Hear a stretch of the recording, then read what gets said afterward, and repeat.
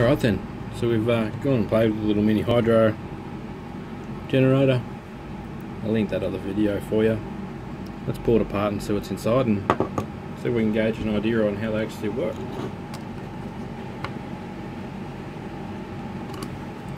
Screwdriver's way too fine in the point. I have to go this way.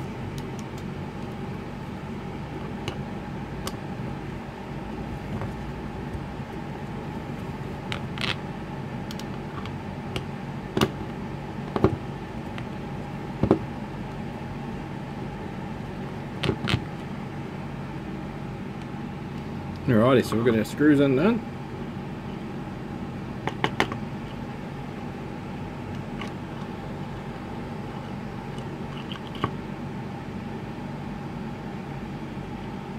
We've got an O-ring and then just the wires coming out of that part. Oh, and the next part comes out.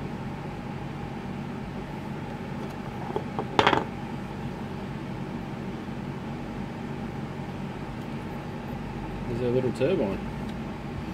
So it must be um, stationary inside, permanent magnet outside.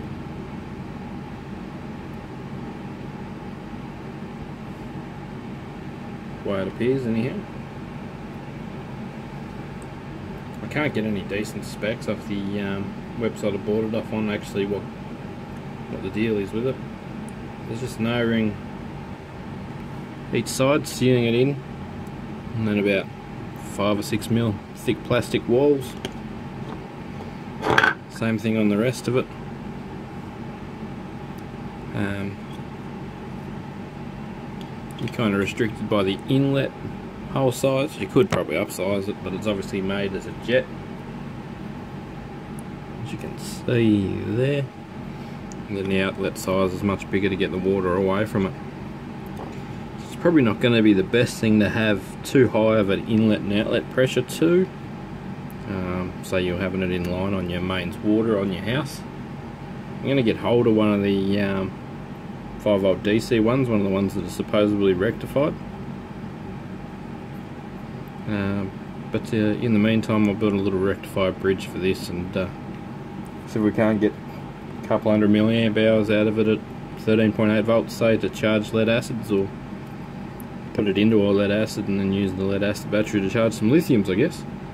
So pretty happy with the way it's sealed. It, it certainly didn't leak or anything when we were uh, testing. Goes together fairly easy. So and then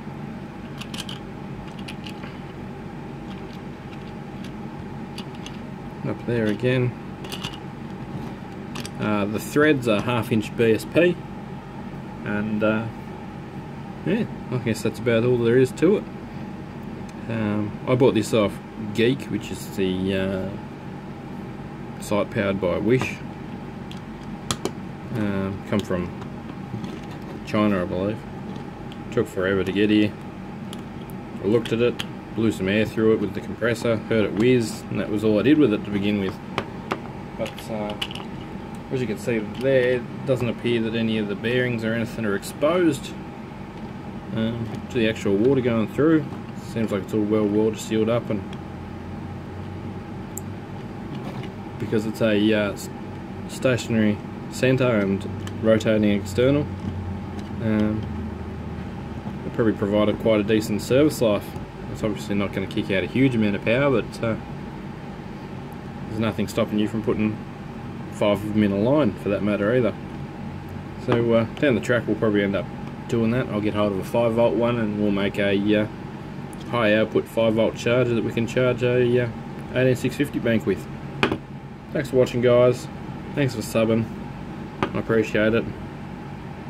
Any questions about it, drop them down below. Otherwise, have a good day.